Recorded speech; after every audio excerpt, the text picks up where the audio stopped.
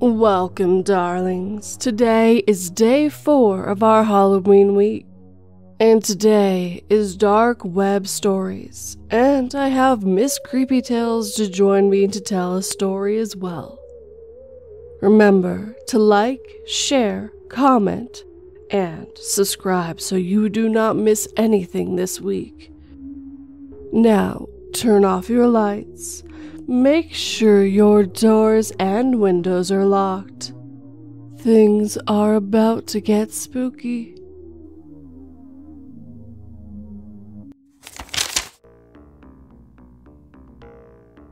A satisfied smile stretched across my face as the drugs were pushed from the syringe.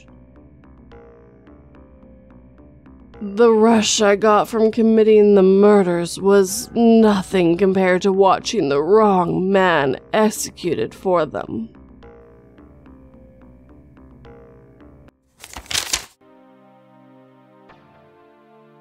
Keylogger by Anonymoose. Narrated by Miss Creepy Tales. I've only had one bad experience with the deep web and it is way more than enough in my personal opinion. I'm not an overly technical person, and I'm not a tech genius. I'm no hacker extraordinaire, but I do know my way around the internet, and I have an understanding of what indexing and non index pages, or deep web, actually are. I took a few classes on the internet security and there were a couple sections dedicated to deep web and dark web, or at least explaining what they were and how the technology worked, like onion routing and encryption. And I felt confident enough to get on the deep web and thought that I could keep myself safe. And that confidence was my first mistake. But in my defense, this situation could have happened on the surface web. It just made it that much creepier that it was on the deep web. Because I wasn't interested in any of the illegal content on the dark web, I kept myself confined to the part of the deep web that were closer to the surface. Basically, the wading pool of the deep web. Of these pages, I mostly visited things like forums and discussion boards, and I had this personal appreciation for anonymous conversations. And while I wasn't a troll or aggressive or anything, I was a bit more out with my opinion and personality, as there wasn't a name associated with the statement. Now, in order for this to all make sense, I have to explain a bit about what happened and then kind of explain the how, because it won't make sense otherwise. As I stated, I spent a good amount of time on the forums. I spoke with people that I honestly considered my friends, and I learned a lot. It was actually kind of nice, kind of like there was a place that I belonged, like a bar, but with text and random people that were faceless. Now, on the main forum I would use, most people signed their posts and messages with a pseudonym. Of course, there was no control over this, and anyone could use anyone else's name on their post, and no one would be the wiser. Strangely enough, it was kind of an honor system, and most people followed it. My name on this site was ironically, No Girls on the Net. It was supposed to be a joke, a play on the claim that there are no girls on the internet, just guys pretending to be girls. This was ironic because I was a girl. Anyways, on this forum, I was fairly well known to a lot of people in my subboards, and people would refer to me as girl. I know, not exactly specific, but typically when someone said girl, they were talking to me. Anyways, I was friends with a lot of people on this page, and they were all decent. Never ran into anyone that I thought was really creepy for the most part. But that all fell apart when I got a message on Facebook one day from some guy that I had never seen before named Derek. And the message just said, Hey girl. At first, I didn't put two and two together. I thought he was just being a douche, and I told him as such. My response was simply, What an incredibly rude and derogatory way to refer to someone. Give me one reason I should even bother responding to you beyond this. This guy responds with, I thought that's what everyone called you. At least, that's what I've always called you. You're no girls on the net, right? When I read this, I was a bit freaked out. How had this person found my personal Facebook? There was absolutely no connection between me and that account, and I was always careful not to post anything that could be considered personally identifiable. And I had no idea how he could have connected the dots. I asked who he was, and he once again asked if that was my username. I didn't want to tell him yes but I also didn't want to say anything that may indirectly confirm that it was me. So, I ended up just having to say that it wasn't me and that I hoped that he found whoever it was that he was looking for. He responded with a smiley face, and then that was it for that conversation. I thought that was the end of it. I thought he had bought it. But I was wrong. I was very, wrong. About a week later, I got a letter in the mail. And while this was a bit off in today's day and age, that is, I didn't think much of it. I took it in and opened it, then pulled out the letter. It was a printed letter that pretty much just said, Don't lie to me, girl. I know it's you. I want to get to know you better. Here's my phone number. Shoot me a text when you get this. P.S. I will know that you got it. I was seriously freaked out. This guy was sending me letters, which meant that he knew my address. Not only that, but he claimed that he would somehow know if I got the letter and didn't tell him. How? That's when I looked over the envelope to see if I could find a return address. And then I realized that there wasn't one.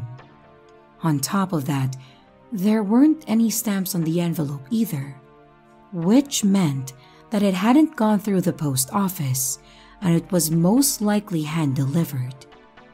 Which then told me how he was going to know I got it. My next mistake was calling the number if I was going to fix this problem, I was going to have to do it head on. I pulled out my phone and called him. And when he answered, he started off with, Hey, sweetheart. I was legitimately disgusted. My response to him was, I'm not your sweetheart. I don't even know who the hell you are. How did you find my information? He avoided the question but started saying that he was in love with me and that he needed me in his life. I once again told him that I had no idea who he was and that I wasn't interested. He told me to get interested or things were going to be difficult between us. I had had enough. I told him that he was a creep and that he needed to get a life, and then I hung up. He tried calling me back a couple times, but I ignored it. Then, he texted me, and I think that I nearly pissed myself. The message that he sent me said, You're going to love me, one way or another. Don't make me hurt you. Then, followed it up with, See you later, sweetheart. Obviously, I was panicked. This dude was a super creep, and he had no issue with being creepy out in the open like this. But I really didn't have much in ways of options since he hadn't actually done anything. Being a creep isn't really a crime until they escalate. Well, it escalated pretty quickly. It was actually that same night when things happened. Around 8 that evening, I heard a knock on my door. I, unfortunately, knew it was most likely him. I pulled the curtain open from the side window, and I saw this guy standing there in a hooded sweatshirt and black pants. Pretty obvious red flag in this case. He stood there at the door and kept knocking, then started yelling that he knew that I was home. I stayed off to the side where he couldn't see me and I dialed 911 on my cell phone. When they asked what the emergency was, I said, loud enough for him to hear me, that there was some creep trying to break into my house, hoping that it would be enough to get him to go away. What I didn't expect was him to smash the glass of my front door with a hammer and reach in to unlock the door. What he didn't expect was my brother a trained police officer to come around the corner with his gun locked on him the second he stepped into the house. As soon as my brother screamed, Get on the ground! This guy started yelling, Don't shoot me, and then fell to his knees. My brother restrained him, and the cops showed up to arrest him. When they got him out and in their car, they came back to tell us what they had pulled off of him. This dude came with zip tie cuffs, a large knife, the hammer obviously, and a pillowcase stuffed into the hoodie pocket. Basically, it was like that he planned to kidnap me, cuff me, put the pillowcase over my head, and take me out to his van, which he had parked just outside. In the van, they found condoms, adult toys, and various other creeper things that I don't really want to think about right now. So that's the what. But the question becomes the how. How did he find me? How did he know who I was? How did he connect my stupid username with me as a person? Easy. I was an idiot, and apparently had clicked a link that he posted on the forum this guy had linked to something on the forum page that I apparently was interested in, and it had malware that loaded into my system because I had some stupid software, something like JavaScript or Flash or something, that was out of date, and this guy was able to drop a keylogger on my system. That, plus those fantastic little things in Chrome and Firefox that will save your personal info for quicker entry. Things like your address and name and all that. Yeah, that helped him tremendously. This guy had infected my system, and I had, unbeknownst to me, given him all my personal information. Then he turned into a super creep.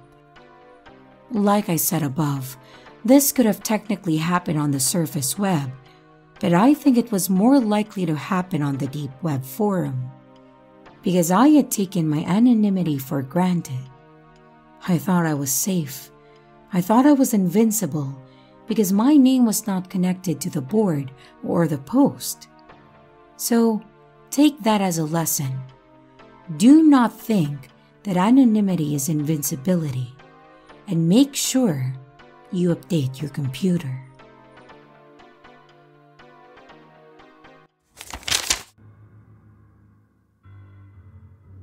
The zombie horde was easy to survive.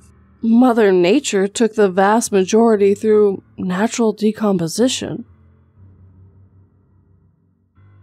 We've been hiding for decades from the hurricane of biting flies that consume everything dead or alive.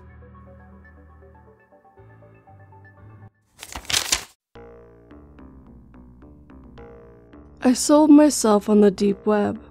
By Doomed Geek. What do you do when there's nothing else left? I was a college graduate who, two years after collecting my certification, was still unemployed. There was a gaping blank on my resume. Add to that the fact that my debts were out of control, and it's fair to say I was a mess and growing even more desperate. So, what was I doing about this? How was I digging myself out of a hole? I was staying up all night trawling through the internet, is there a point which the internet does not end and sanity begins? I neither knew nor cared. I watched thousands of clips, read conspiracy theories and news reports until I blurred into a stream of hyperbole. I slept fitfully during the day and went back online the minute I woke up. I would surf even though I needed to go to the bathroom until it hurt. I forgot to eat or drink, and soon I had a permanent background headache. Like a lot of addicts, it was not that long before I moved on to the harder stuff the deep web.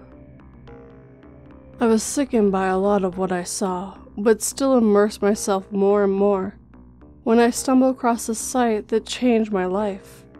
It looked fairly innocuous at first, there was a simple hero image of an outline of a human body and a drop down menu in the top right hand side, accessed via three short lines. For other people, it's one more bet, one more drink. I clicked one more link. I was surprised to see only two options buyer and seller. Wasn't going to buy anything real soon, so I followed the Warren marked seller.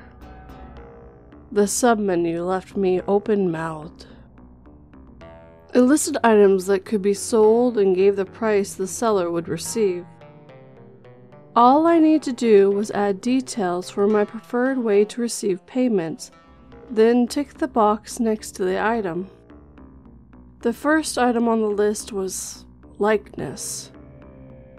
For the price shown, I could pay the two months I was overdue on rent and buy wine and pizza every night for a week with what was left over. Now, I was not sure what they meant by a likeness. Other items that I could sell via the website were more straightforward. Things like my social insurance number, my date of birth, even my name. A lot of these seemed like a way to commit fraud for the buyers. All very dubious, but at least, I thought, they were paying to use these details rather than simply stealing them as so often happened. Likeness seemed more ethereal, though. I decided it meant the right to use my image, a photograph of my face. I also decided I really wanted a beer and pizza and to be able to tell my landlord to get off my back because I had paid your damn rent. I add my details for the money transfer and press the box next to likeness. Then press submit. A transaction processing symbol turned into a transaction complete. A new box appeared giving me the option to comment. I typed, Do you need me to send you my photograph? thinking this would answer my question about what exactly I just sold. A moment later, the reply came We already have it. I flashed back to some of the things I had done in front of my computer screen, then decided I'd rather not think about it. Feeling nervous, sure I was being scammed, about to kick myself for being so naive, I checked my balance. What do you know? The money was in there. I went back to the good old innocent web and ordered the largest, most overloaded pizza I could think of, and then began to add sides. It took me two weeks for me to blow through the money from selling my likeness. I had a great time without leaving my apartment, and I had paid no rent. Not to worry, I told myself, returning to the deep web and my new favorite website. This time, I hovered over fingerprints. 30 seconds considering, flagged a dozen dodgy things this could lead to, but it was the money I would make that made me think, whatever. I ticked and submitted. This time, 10 small boxes appeared on screen with instructions for me to place the end of my fingers in them. Which I did, and within seconds the transaction was complete, and within minutes I could see that I was once again flush. Problems over, I could pay my rent, enough of my credit card to make the bank back off. In the comment box, I typed, Thank you. The reply was almost immediate You are welcome. Now, I don't know if anyone listening to this is a gambler, but I guess if they are, they would not by now have put money on me spending the money wisely, and they would have been right. This time, I told myself another couple weeks later, I would get my acting gear. I spent a significant time going through the items I could sell and create a spreadsheet with how much I owed. So I knew the amount I needed to earn with this one final sale of parts of me. I had decided, you see, that this had to be the last time. There was a relatively small number of things left I could sell, that I was prepared to sell. My name, date of birth, and social security number were still no goes. I did not want to risk losing the ability to have a bank account and find employment. A history of being a disaster did not mean, in my mind, that I always would be. So, one final sale it was, then clear my debts and find a job. I ticked the box next to sell body part. From the next list, ticked kidney. I was close to hyperventilating when I pressed submit. Close to tears not long after when I checked my balance. I felt a huge pressure being lifted. With this money, I could finally get my life back on track. The comment box already had text in it. I had been too worked up to read it, so I took a deep breath and did. It had an eight digit reference number, an address, and a time later that day. An appointment for me to have my kidney removed, I figured. I considered not going. I already had the money, so why bother? Then I thought back to the message telling me they already had my photograph Whoever ran the website probably knew where I lived as well, or could easily find out. It was not rocket science to work out that they were probably bad people, criminals, some kind of gang, not people to cross or mess with. I felt sick as I left the apartment at the prospect of having an operation, but also elated at the amazing thing lying ahead of me I just need to get this over with. The address turned out to be a nondescript building on the outskirts of town. The windows were all shuttered and there was no signage, just a human outline I recognized from the website. A keypad was fixed into the wall next to the sturdy looking door. Not sure what else to do, I entered my reference number. The door slid open with a sigh. My stomach doing backflips, I stepped inside. I could hear the drone of an air conditioner, but still suddenly felt very hot. Nerves, I told myself, totally natural. I seemed to be some kind of reception area, but it seemed it was deserted. Scratch that. A man appeared. He was wearing a white overalls and a mask and safety glasses. He may or may not have been smiling when he said, Welcome, let's get you prepared. I followed him along a long corridor. The walls were blank, whitewashed, and the smell of antiseptic was growing stronger. Eventually, he turned off into a small, windowless room. I hesitated on the threshold. There was a raised table fluorescent strips overhead, a stack of equipment next to the bed. Medical, I guessed, though I had no idea. Please, the man said and gestured that I should come in. I smiled weakly and did. He gave me a robe to put on and turned to do something to the equipment while I got changed. I assumed I needed to lie on the table, and when he looked around from whatever it was you had been doing and saw me, he said, Good. Made me feel like a dog rolling over and playing dead, but I kept this to myself. I did, though, have some questions. Is this safe? I asked. Perfectly, he replied without missing a beat. I wasn't sure. I felt hot to the point where I thought I was going to faint, and the light overhead was flickering, making pain start to flow above my eyes.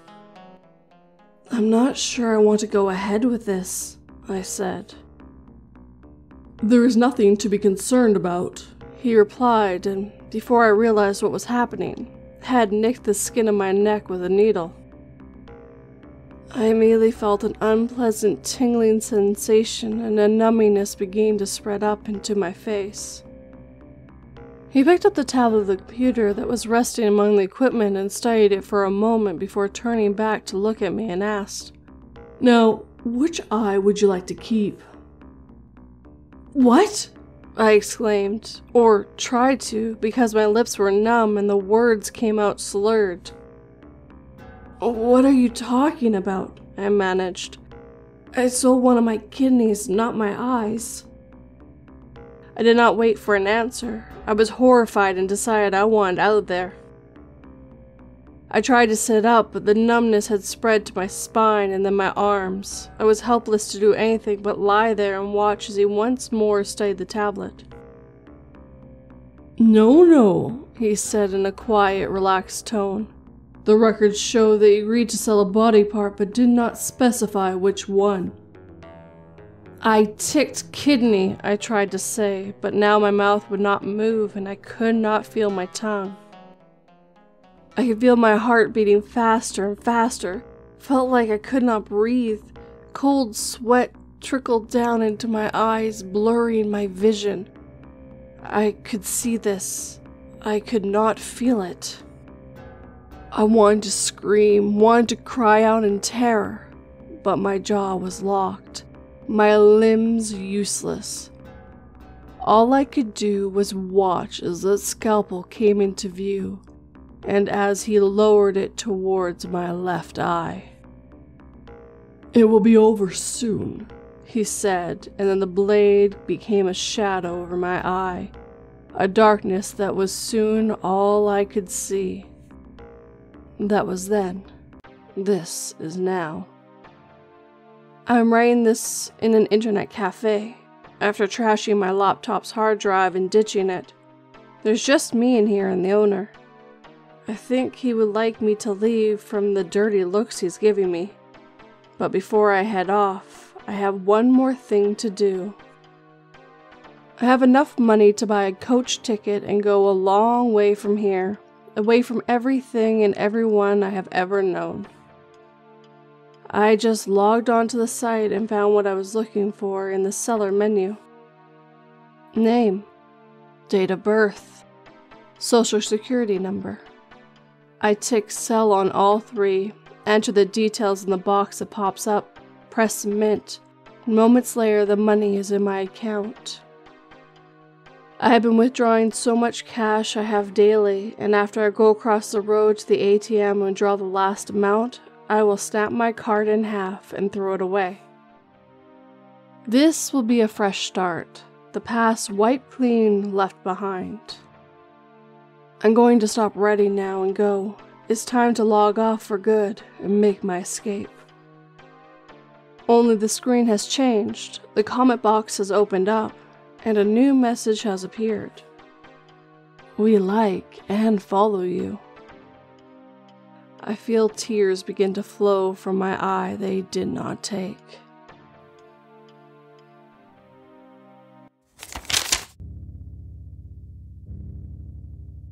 When I was five, I was blessed with the power of being sent back five minutes when I died.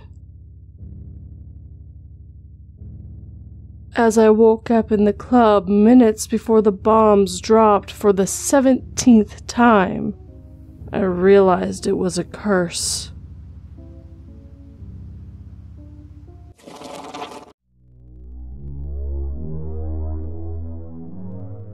And with that, darlings, we're near the end of this video. Remember, you should stay away from those places you shouldn't be. You never know what kind of trouble you might get into.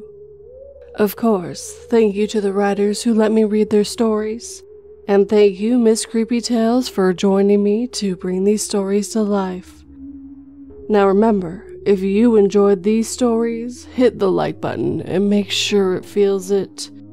If you're new, subscribe, because I've been telling you to so you don't miss this week. And of course, share this video with anyone who might enjoy it. We also have Patreon, merch, PayPal, and memberships if you would like to help in other ways. But of course, leave a comment so poor 242 has something to read to remind herself why being chained to that desk isn't such a bad thing once a year. As always, thank you for watching and listening. Sleep tight and don't let me bite.